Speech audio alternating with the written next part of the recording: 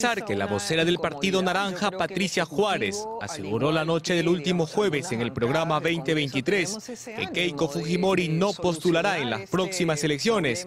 La declaración de la congresista de su bancada, Rosángela Barbarán, esta mañana en Buenos Días Perú, vuelve a generar la polémica. En el caso de Keiko, ella ha señalado claramente, y ella es una mujer de palabra, o sea, ella ha señalado que no va a ser candidata y creo que también eso debe valorar el país. Y tenemos que hacer lo que el Perú necesita y en particular yo sí considero, y lo he dicho siempre, que tiene todas las calificaciones, otra cosa es que no le hayan querido dar la oportunidad para sacar adelante este país. Keiko Fujimori podría volver a postular por cuarta vez.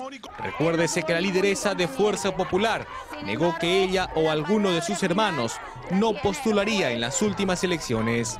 Sin embargo, luego cambió de opinión por lo que no sería sorpresivo si vuelve una vez más a postular a la presidencia de la República.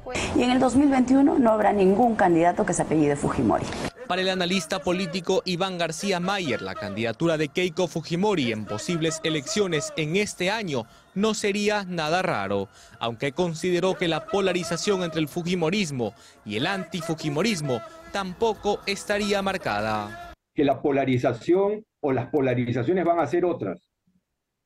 ¿No es cierto? Orden versus anarquía, eh, paz versus violencia, constituyente, no constituyente.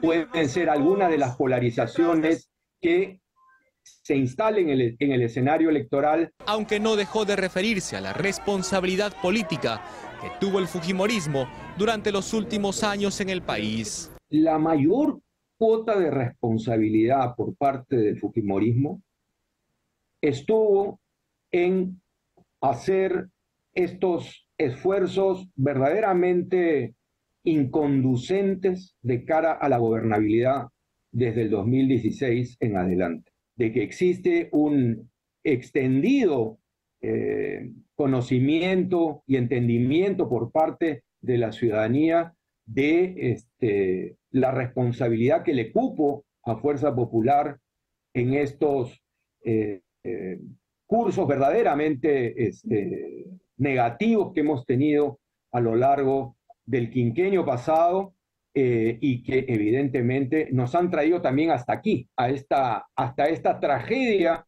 este, nacional. Si bien no existe anuncio oficial de la candidatura de Keiko Fujimori en las próximas elecciones, tenga en cuenta que postular es posible, ganar es una decisión de los electores. Una